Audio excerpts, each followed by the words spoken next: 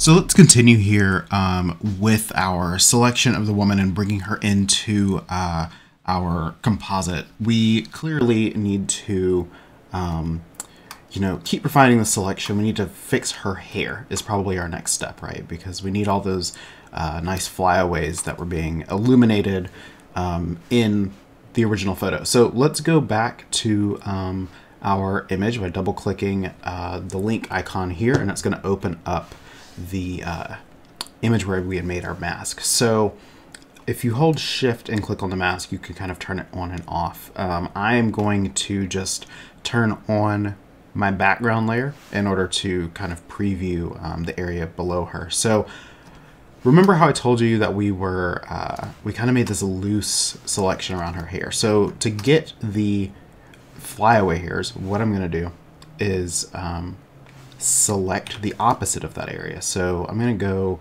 kind of uh, around her head loosely, including her head, and make a selection that kind of looks like this. So we're getting the flyaways plus some, plus just a little bit of margin on the inside of her body. Um, and the reason we do it this way is because Photoshop likes, it, just likes it this way a little bit better, um, is all I can say. Actually come in a little tighter to the flyaways and not get quite so much background.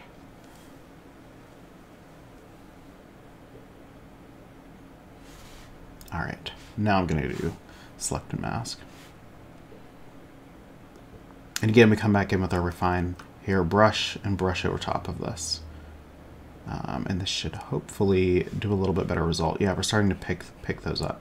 So this doesn't look perfect right now, and it's not going to. Um, and that's because it's a very, very thin selection. I mean, look at how few pixels are actually being picked up.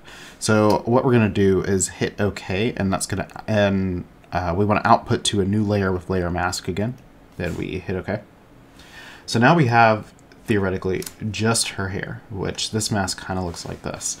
Um, so, you know, if we turn that off and bring the hair above her. That's, you know, we're getting a little bit, but it doesn't look great.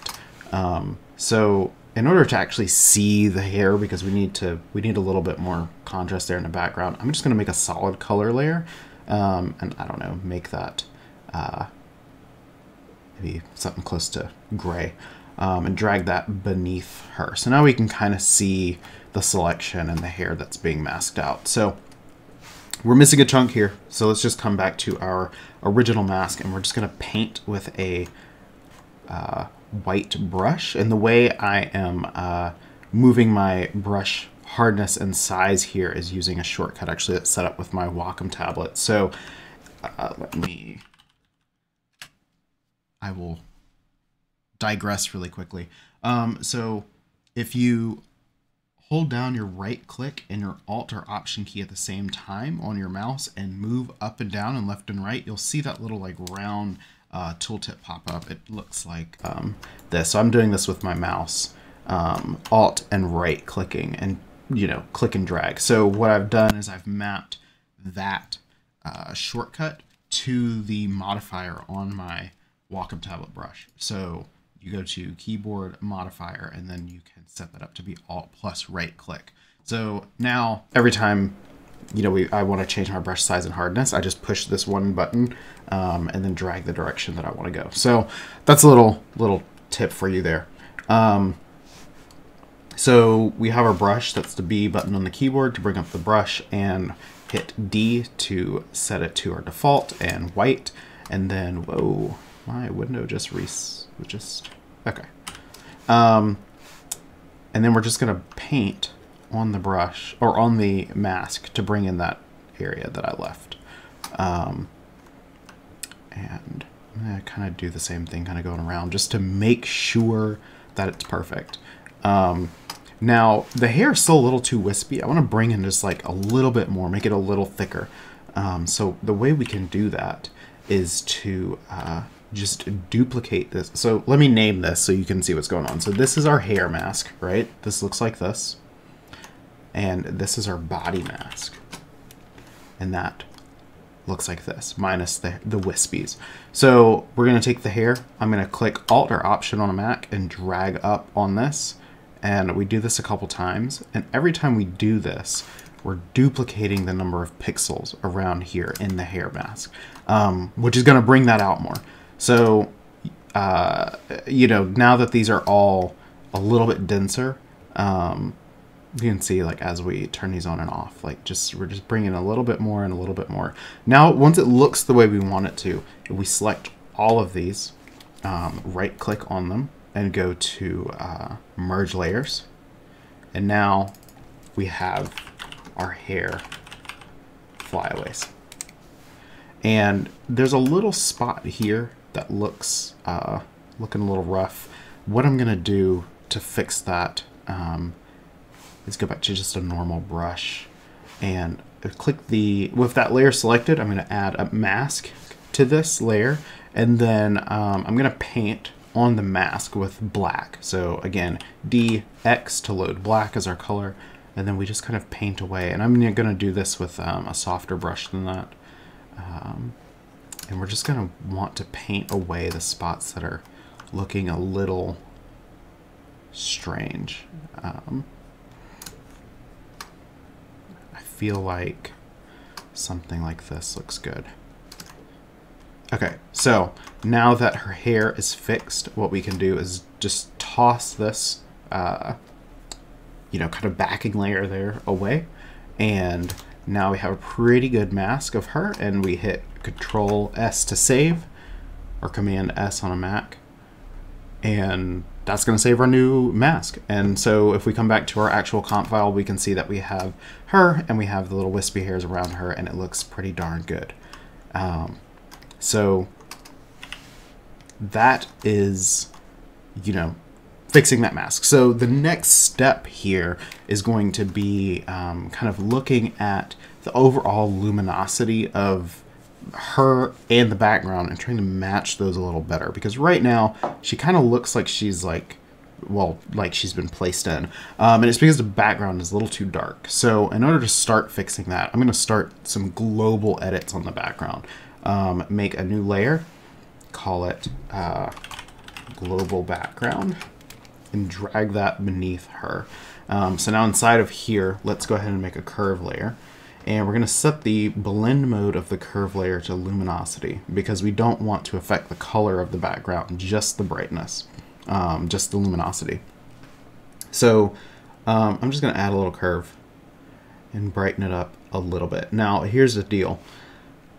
I feel like the background of the background, this this back wall and the ceiling looks fine. It's really the floor down here that doesn't match, right? Like her shoes are way too bright for how bright the floor is right here. So what I'm to do is um, just fill this mask with black. So to do that, you could do a shift delete or shift backspace um, and fill with black. Now, here's the thing about that. I'm using a keyboard. This is actually a gaming keyboard. Um, I, it has special macro keys. So I have macro keys assigned to fill with black and fill with white. I work fast. This is one of those efficiencies.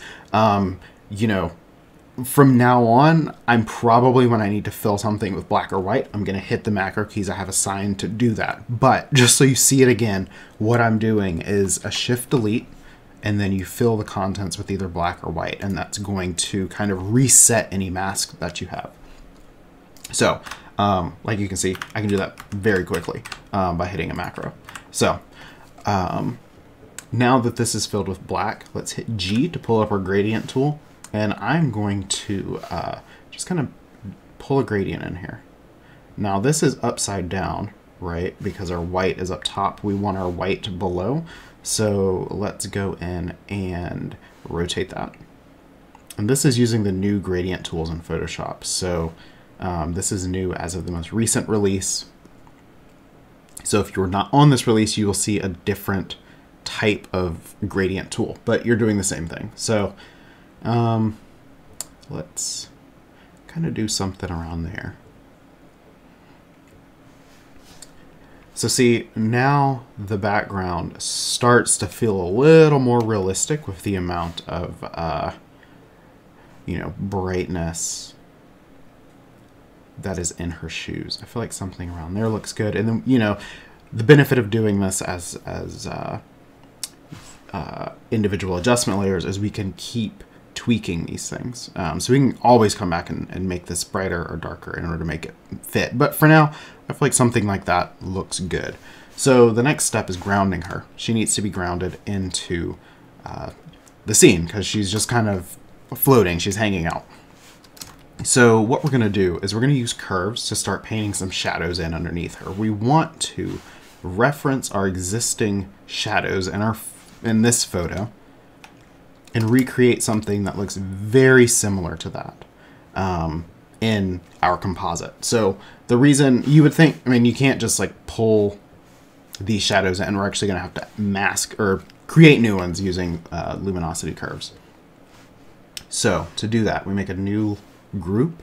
I'm going to call this shadows and add a adjustment layer that is curves. And I'm going to pull that adjustment layer down, right? That looks perfect. So now we fill that layer with black, the mask with black, and get our paintbrush. We're just going to, I mean, this is where this becomes art, right? We're just going to draw with white on our mask to add a grounding shadow underneath. See how that works? Let me do that for real. um, undo, undo, undo, undo. So to do this, you probably want to set your flow to something really low. I'm going to go 25%. Um, this is going to be the first grounding shadow that we see under her foot, the harder one. Um, and then we'll create further fall off. Um, but where she's touching the ground, there's a pretty harsh shadow right there. So with our hardness set uh, pretty hard, I'm going to go with, um, you know, maybe 40%. And our opacity, or flow, opacity at 100 and flow at maybe 10%. We're going to just brush that in. Um, maybe do this a little quicker, an opacity of, or a flow of 50. And just like that, we start to add some of that weight of her body into the scene. So now she starts to seem like she should be here. Right? And that's not, that's a very, very small thing. But look at how much better that feels. Before and after. It's just a little bit of a little bit of weight um, that she needs. That initial shadow. And we'll do the same thing over here. And again, just go back and reference your original photo um, as many times as you need to.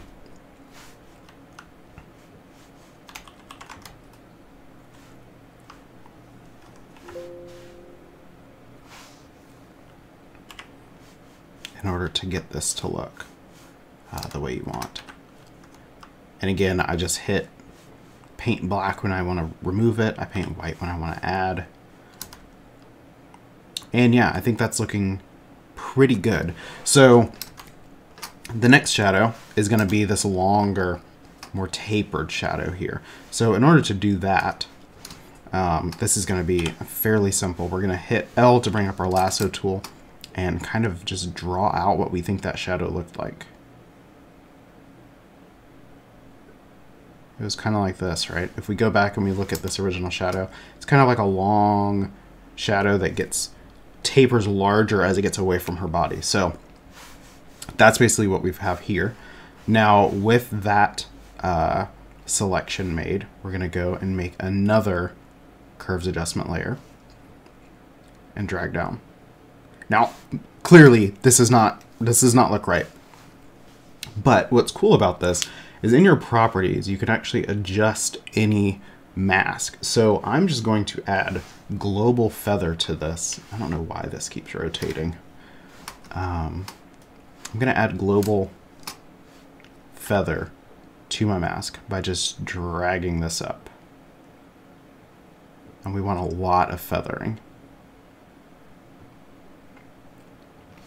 Okay, now that we have that, I'm going to make a copy of this.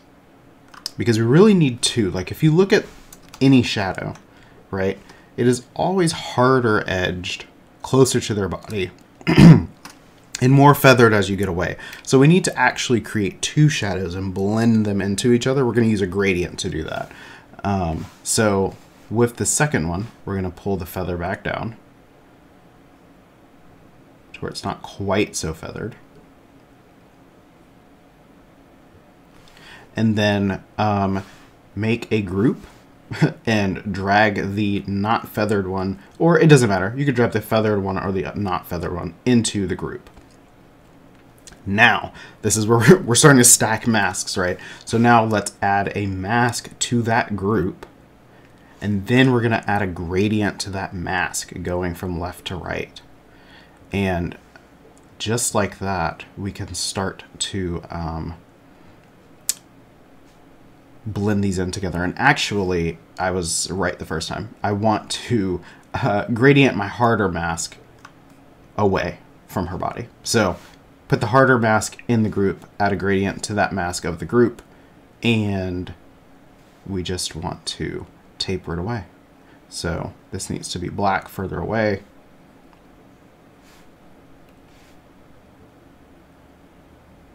And see how that kind of starts to give some taper to the hard mask or the hard shadow. And now that we've got that one, we turn this back on and we can lower the opacity of this to maybe 25 or 50%. And also same here, maybe around 50%. And that kind of starts to look pretty good, right? Uh, we might want to lower the overall opacity of all three of these shadows. So we can take um, these and put them inside of another group. And now we can lower the opacity of all of it. See how this starts to get powerful as you separate things out and uh, control these masks and control the groups, you can actually really start to refine where this stuff sits um, and how it blends together. So I'm going to start labeling these uh, so that I actually know what I'm doing. So this is uh, right hard shadow, right soft shadow, um, there's grounding, and I'm just to play around with these for a little bit until I get something that looks right. So uh, this will be in warp speed, watching me add these shadows, add the next foot shadows, um, and then, you know, we'll have this wrapped up.